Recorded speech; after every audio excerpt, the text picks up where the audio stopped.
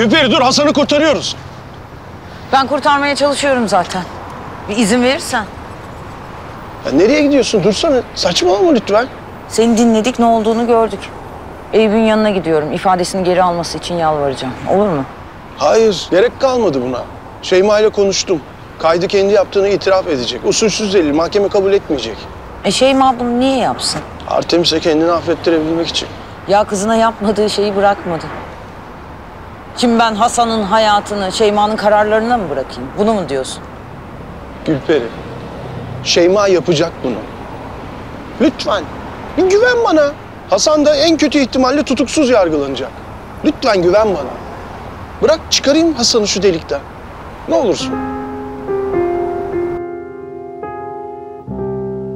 Hasan, sen beni özlemedin mi? Ben gideyim o zaman. Özlemez olur muyum? Ben çok özledim seni. Daha bir gün oldu ama yine de özledim. Bak sana iki güzel şey getirdim. Birincisi mahkeme kesinlikle lehimize sonuçlanacak yüzde yüz. İkincisi de Atilla İlhan'dan bir şiir. Ay ışığına batmış karabiber ağaçları. Gümüş tozu. Gecenin ırmağında yüzüyor zambaklar. Yaseminler unutulmuş. Tedirgin gülümser. Çünkü ayrılmanın da vahşi bir tadı var. Çünkü ayrılık da sevdaya dahil. Çünkü ayrılanlar hala sevgili. Hiçbir anı tek başına yaşayamazlar. Her an ötekisiyle birlikte. Her şey onunla ilgili. Telaşlı karanlıkta yumuşak yarasalar.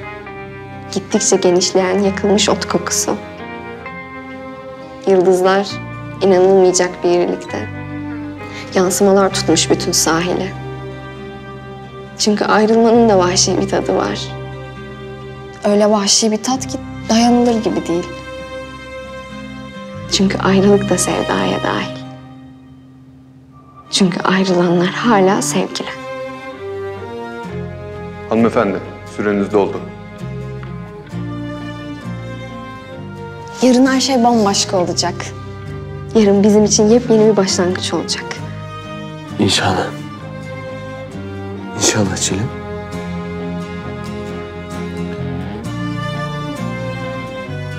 Anam nasıl? Bana söyle. Hiçbir şey için üzülmesin. Tamam mı? Hiçbir şey için. Benim için de. Hiç kendini üzmesin olur mu? Söylerim. Hatta sen de söylersin. Bundan sonra her gün söylersin. Hasan, niye öyle bakıyorsun? Ben seni çok seviyorum.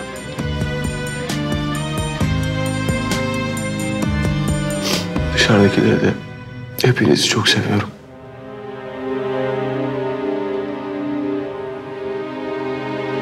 Bak, her şey düzelecek. Sen niye şimdi böyle bir karamsarlığa kapıldın ki? Affet beni. Ben senin istediğin gibi biri olamadım. Olamayacağım da. Elim kolum bağlı duramıyorum. Dururum sandım. Ama yapamıyorum.